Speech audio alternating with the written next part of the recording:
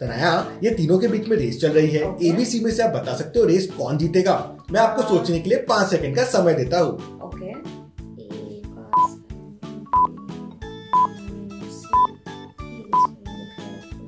सी के तो लेस खुले हैं इसलिए सी तो नहीं जीतेगा। हाँ। ए नंगे पैर दौड़ रहा है तो वो कैसे जीत जाएगा? हाँ। बी प्रॉपर है उसके लेस भी नहीं खुले और नंगे पैर भी है तो बी जीतेगा। अगर आपने भी यही सोचा था तो मुझे लाइक करके बताओ।